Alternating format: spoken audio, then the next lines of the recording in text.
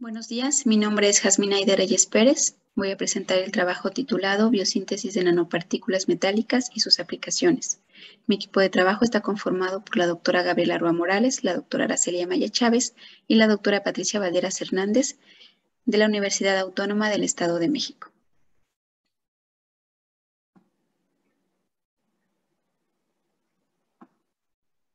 El contenido de esta presentación eh, cuenta con una introducción, metodología, resultados, conclusiones y referencias. Bien, como introducción tenemos que la nanotecnología es un campo multidisciplinar fascinante que implica el diseño y la ingeniería de sistemas funcionales a escala molecular. Algunos autores lo definen como el arte y la ciencia de la manipulación de la materia a escala nanométrica para crear materiales nuevos y únicos. Su principal característica es una estructura dimensional inferior a los 100 nanómetros, lo que es importante en los campos de la ciencia de materiales, las ciencias médicas, así como las ciencias físicas y químicas. Eh, estos materiales presentan características importantes como la reactividad catalítica, la conductividad térmica, el comportamiento óptico no lineal y la estabilidad química, estas características debidas a su elevada relación superficie-volumen. Existen dos enfoques básicos para la obtención de estos materiales. Uno de ellos es el enfoque eh, top-down, conocido también como de arriba hacia abajo, y este se basa en métodos mecánicos de reducción de tamaño. Eh, gradualmente se descompone el volumen del material en estructuras cada vez más pequeñas hasta llegar a la nanoescala. En este sentido, se utilizan eh, técnicas litográficas como molienda, fresado y ablación térmica o láser. El otro enfoque es el enfoque bottom-up, este está basado en el ensamblaje a través de entidades más pequeñas como átomos o moléculas hasta llegar al rango de la nanoescala, generalmente entre 10 y 100 nanómetros. Este enfoque está basado principalmente en métodos químicos y biológicos y bueno, esto va a aumentar la posibilidad de producir partículas metálicas químicamente más homogéneas y con menos defectos. Eh, como pueden observar en la imagen, el top-down es de arriba hacia abajo a través de eh, técnicas o métodos físicos, mientras que em, el bottom-up es el enfoque eh, que va de abajo hacia arriba a través de mm, métodos químicos principalmente.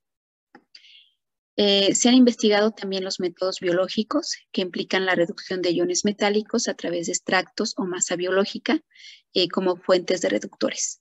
Y dentro de estos, pues tenemos dos principales, que son unos procesos intracelulares, los cuales eh, tienen lugar dentro de la célula. Y bueno, el proceso se basa principalmente en utilizar las vías metabólicas de los microorganismos para llevar a cabo la reducción. Dentro de estos procesos se encuentra la fotosíntesis, la respiración, eh, la fijación de nitrógeno, entre otros, otras vías que pueden ser eh, útiles dentro de este proceso.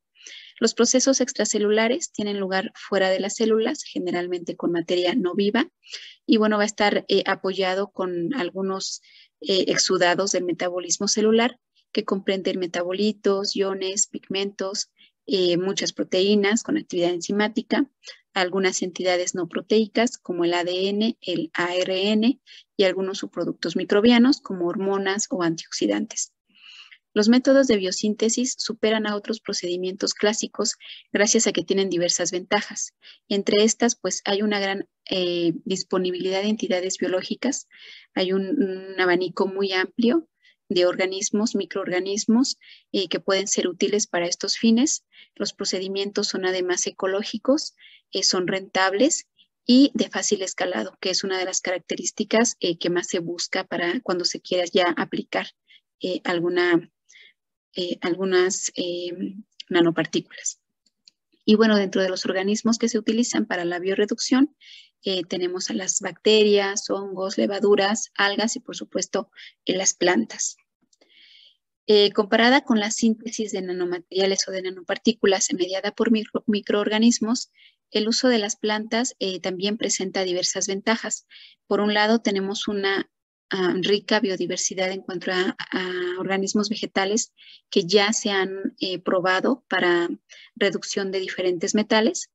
También se presentan menos riesgos biológicos, la manipulación de las plantas es mucho más sencilla eh, generalmente se puede encontrar ya sea en, el campo de manera directa o a través de, compras en, los diferentes mercados. ¿no?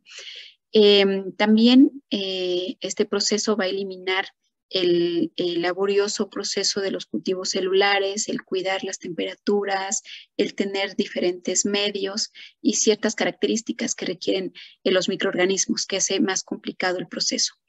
Y bueno, esto, eh, el hecho de que las plantas sean mucho más fáciles de manipular y mucho más fáciles de trabajar para obtener nanopartículas, pues las ha situado en, un lugar eh, como, como ideales para la producción a gran escala. Y en, bueno, en la figura 1 eh, se muestran algunas de las moléculas que se han ya identificado como responsables de la reducción de los distintos metales, siendo la quercitina una de las principales y la más reportada en la literatura. Diferentes factores eh, eh, van a participar o van a modificar las características de las partículas y dentro de estos tenemos el pH, la temperatura, la concentración de las sales metálicas, así como la cantidad del extracto vegetal. Estos eh, van a tener un impacto en todo el proceso de reducción, eh, en las diferentes fases de, de, la formación de las nanopartículas, desde la nucleación, el crecimiento y la estabilización de estas estructuras. Eh, bueno, en cuanto a la concentración de las sales metálicas, se sugiere que las concentraciones de trabajo sean de un rango bajo de 1 a 10 milimolar, principalmente para el caso de los metales nobles, sea plata, oro o platino. Y bueno, de acuerdo con, con, lo que se ha revisado en la literatura, otros autores consideran que es posible utilizar unas concentraciones hasta de 0.1 molar para otro tipo de metales, como el cobre, el hierro o el zinc. En el caso del volumen del extracto vegetal, se ha observado que al aumentar este factor, el tamaño de las nanopartículas disminuye, por lo tanto, pues se recomienda utilizar porcentajes superiores al 5% cuando se va a hacer esa relación volumen-volumen. Para el pH es recomendable trabajar entre los valores 5 y 12, dado que a valores inferiores a 5 prácticamente no se va a llevar a cabo el proceso de reducción y a valores mayores a 12 el proceso va a ser muy lento y generalmente pues va a producir partículas mucho más grandes. Para la temperatura es mejor trabajar con temperaturas altas, lo que se ha observado en los trabajos, en, las diferentes eh, propuestas. Eh, se encuentran temperaturas entre los 50 y los 100 grados centígrados como las condiciones óptimas para obtener eh, partículas más pequeñas. Y bueno, una vez ya se tienen ya preparadas las nanopartículas, estas se someten a diferentes eh, técnicas de caracterización para determinar su tamaño, su forma, distribución, así como su morfología y área superficial. Una de las técnicas eh, principales que se utiliza o las primeras técnicas que se utilizan para la caracterización es la espectrofotometría UV visible.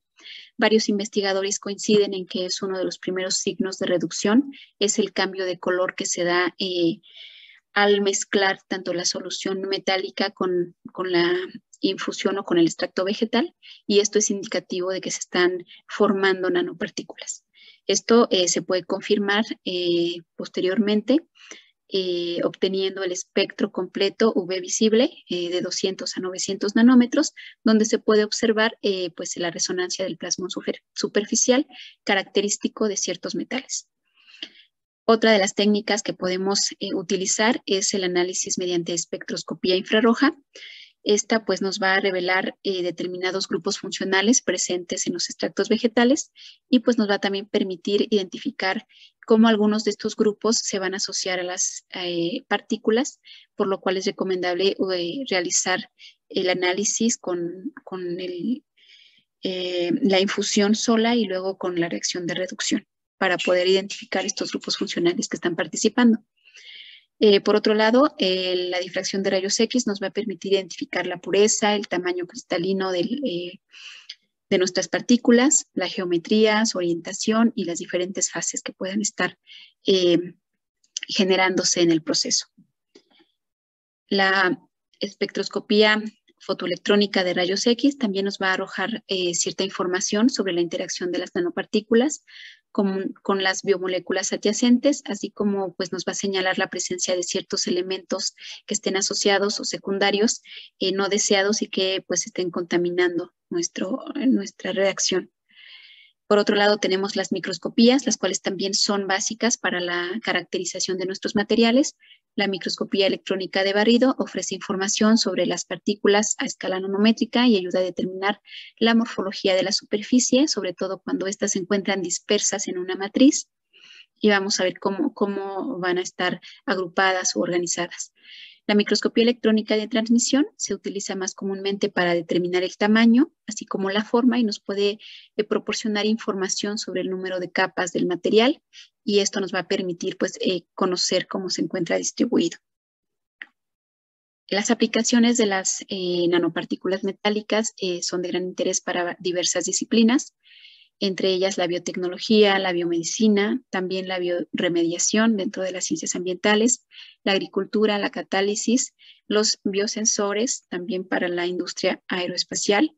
Eh, y bueno, se han encontrado diversas eh, aplicaciones. Un gran, un gran número de las investigaciones realizadas pues están en torno a la actividad bactericida, una actividad, eh, aplicación médica, se han probado tanto para bacterias patógenas gram negativas como gram positivas, como las que se enuncian en la, en la lámina, Escherichia coli, Staphylococcus epidermidis, entre otros.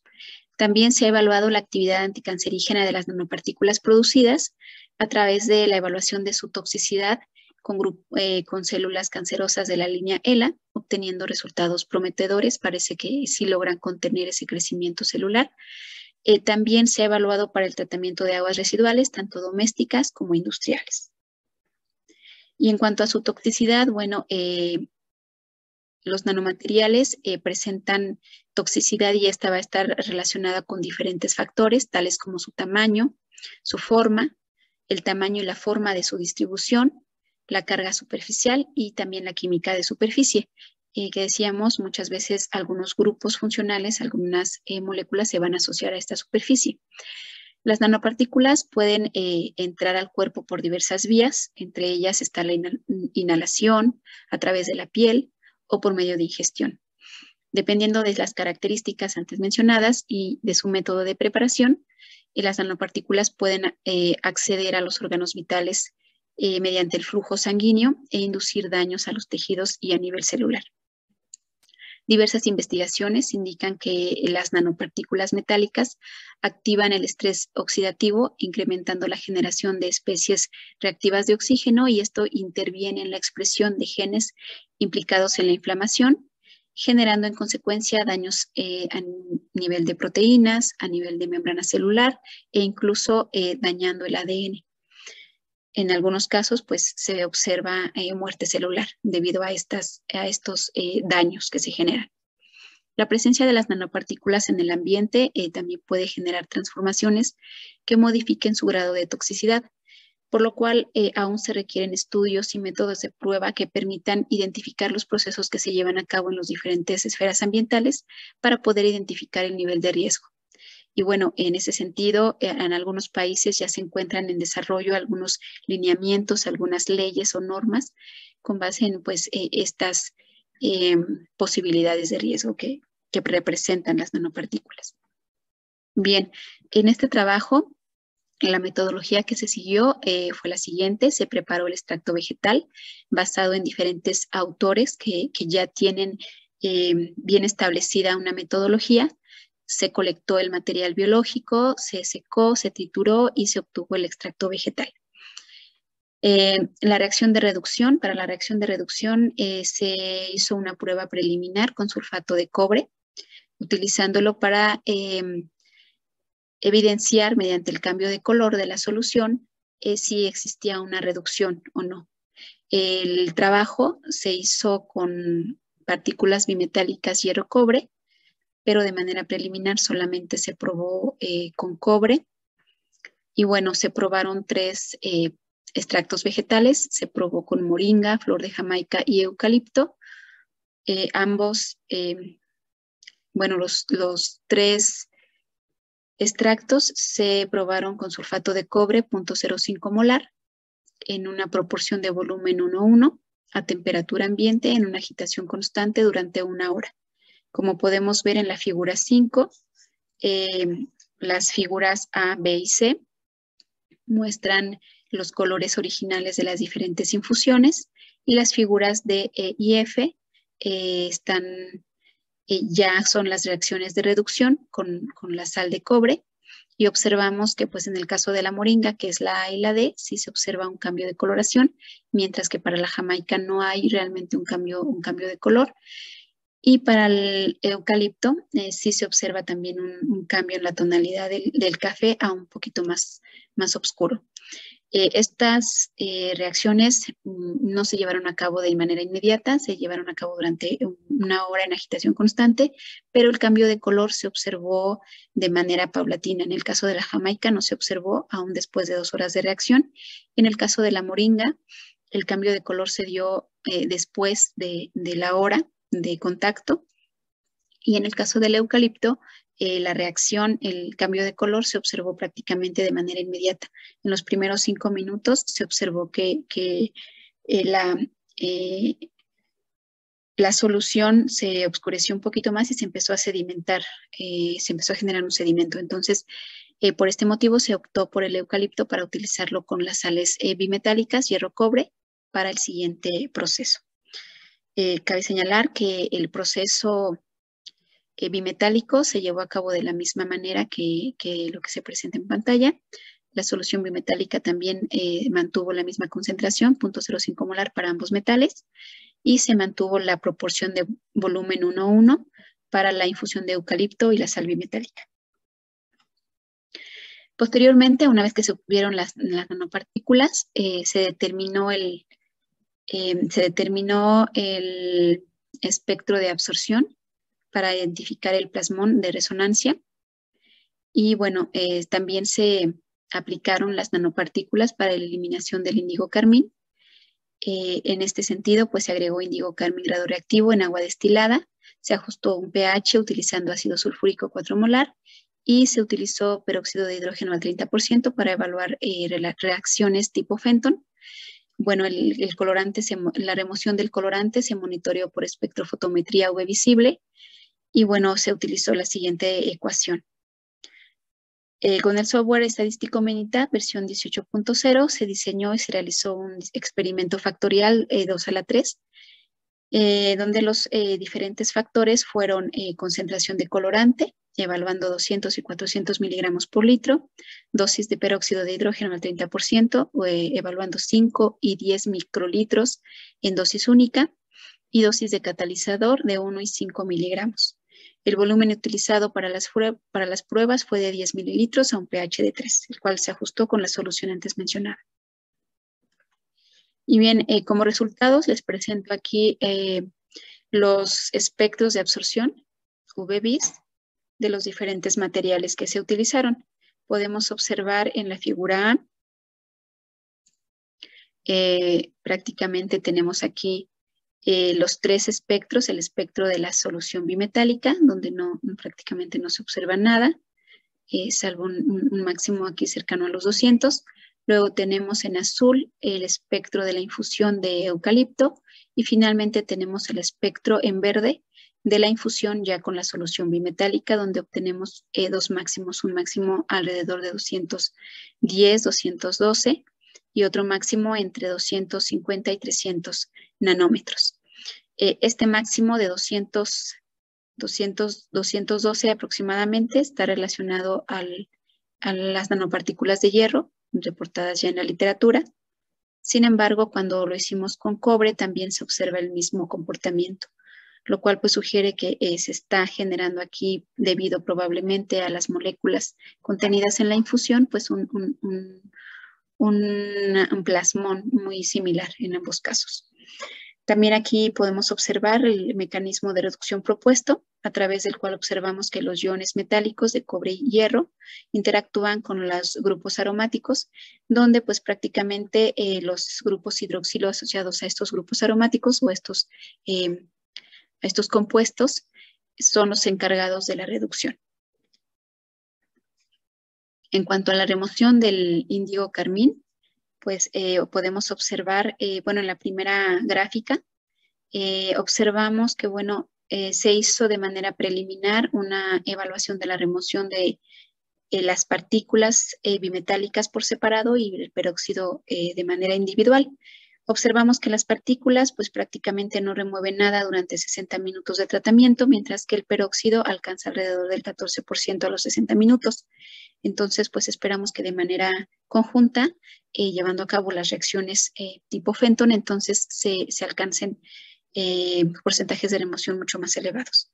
Y bueno, esto se observa en los gráficos del lado derecho, donde observamos que, bueno, en el gráfico A evaluamos la concentración del colorante. Tenemos aquí en azul el, eh, la concentración a 200 partes por millón, mientras que en anaranjado tenemos 400 eh, partes por millón del colorante y si observamos que cuando hay una menor cantidad de color, pues es mucho más eh, rápida ¿no? la remoción de este.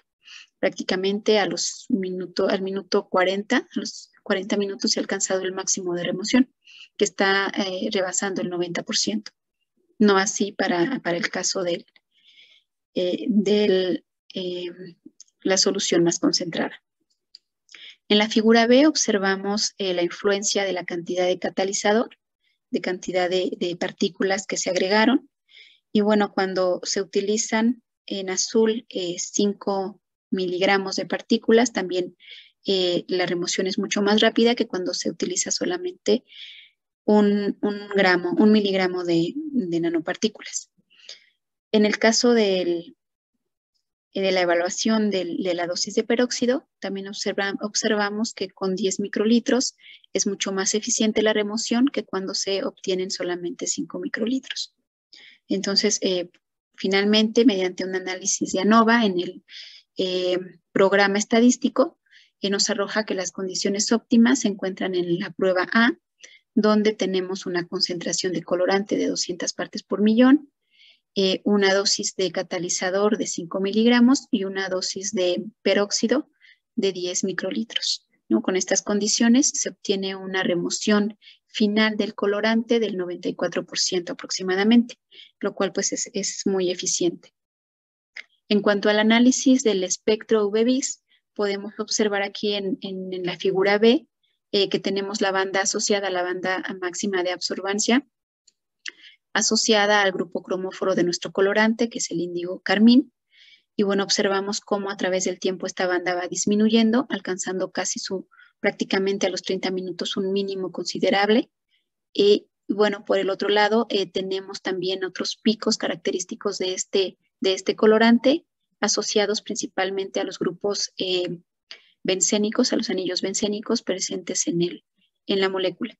Sin embargo, también podemos eh, observar en esta imagen que alrededor de los 240, entre 240 y 250 nanómetros, eh, observamos la aparición de un nuevo pico alrededor de los 30 minutos de, reacción, el cual está asociado a uno de los subproductos principales del índigo carmín, que es el isatín, y observamos que prácticamente eh, alcanzando los 30 minutos empieza a aparecer este pico y posteriormente pues se va reduciendo.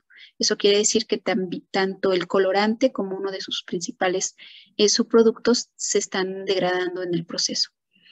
Y bueno, aquí también les presento la, eh, el mecanismo que probablemente esté, esté participando en esta reacción, donde los iones de hierro y cobre están interactuando con las moléculas de peróxido y generan pues uno de nuestros principales eh, agentes eh, oxidantes, que es el,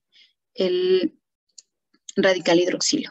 Entonces, eh, este es el que va a llevar a cabo la degradación del colorante y también pues la degradación, como lo vimos, del isatín. Eh, bueno, como conclusiones finales, tenemos que bueno, los procesos de bioreducción con plantas presentan amplias ventajas sobre otros eh, métodos. Esto debido a pues, la amplia disponibilidad de especies vegetales con capacidad antioxidante, recordemos que la matriz del extracto vegetal es muy compleja y no solamente nos, va a proporcionar las especies químicas con capacidades reductoras, sino también aporta especies estabilizadoras que van a evitar que estas partículas se aglomeren y que van a asociarse a su superficie. Y bueno, estas, eh, esta asociación pues va a influir positivamente en la aplicación y evaluación eh, de otras eh, áreas, ¿no? En cuanto, a, en cuanto a la funcionalidad que puedan tener estas nanopartículas. Los procesos de fabricación deben considerar los diferentes aspectos que ya revisamos, como el pH, la temperatura, la concentración de los iones, así como la relación volumen eh, extracto vegetal sal metálica. Es importante considerar que, es, que se lleve a cabo un proceso de optimización antes de eh, utilizar o llevar a cabo un, proceso de aplicación de las nanopartículas para obtener las mejores cualidades de estas.